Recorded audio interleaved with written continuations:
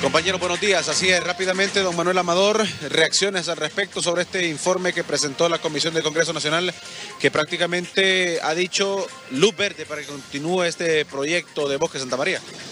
Sí, e, efectivamente, nosotros ya lo veíamos venir esto, que esto pues, no es un fallo eh, técnico, no que político.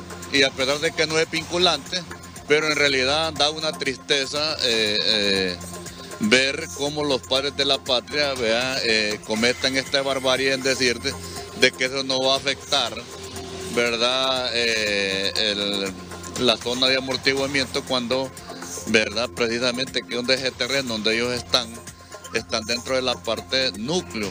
Y ellos han, dejado una área ahí de 400 metros que dicen para que no eh, perjudique lo que es la zona de amortiguamiento, manejan ellos, pero la, el parque lo compone 24.040 hectáreas y dentro de esas 24.040 hectáreas están 17.571 hectáreas que conforman la parte núcleo. Entonces, no hay ninguna duda que es un, fallo político. El, ICF, eh, sus técnicos recomendaban ese es un terreno irregular y que por lo tanto había que, hacer del 54% irregular, había que hacer algunos estudios como un geólogo, un hidrólogo que estudie el área respectiva, pero no, viendo yo, eh, eh, teniendo eh, conocimiento de lo que se dio en la, lectura de ayer de, ese informe, allí prácticamente ellos con los que tuvieron las reuniones con los mismos entes del gobierno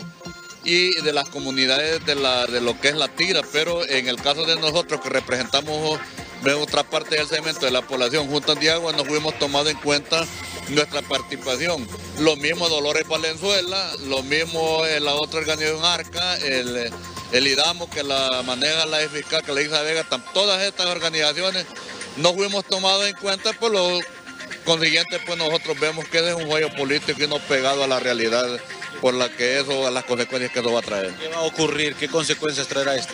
Bueno, pues no, eh, verdad, nos queda otro que el pueblo, pues de nuevo irse a las calles, porque es que ese es el problema que tenemos nosotros cuando se ven estas cosas verdad políticamente y no se ve la realidad de las consecuencias que ese proyecto habitacional va a traer. Por ende, pues no nos va a quedar otra que volverlos a ir a las calles, irlos a las acciones, porque ese pulmón, lo único que tenemos aquí en la capital, lo tenemos que defender y eso no solo nosotros, sino que, ¿verdad?, como sectores organizados, sino que todo el pueblo capitalino, porque eso va a traer consecuencias graves de construirse esa ciudad modelo eh, precisamente en esa área de amortiguamiento, que eso por más que quieran justificar y por más que quieran eh, decir eh, de que esa no esté en la zona de amortiguamiento, sí está dentro de la zona de amortiguamiento y por lo tanto nosotros no nos va a quedar otra pues que irlos a las acciones de nuevo a las calles, ¿verdad? A consecuencia de este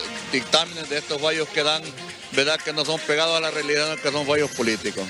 Perfecto, don Manuel Amador, reacciones eh, al respecto de este informe presentado por la comisión que estableció que el proyecto Bosques de Santa María no está dentro del núcleo de amortiguamiento en la tira. Compañeros, con ustedes al estudio. Buenos días. Bien, muchas gracias.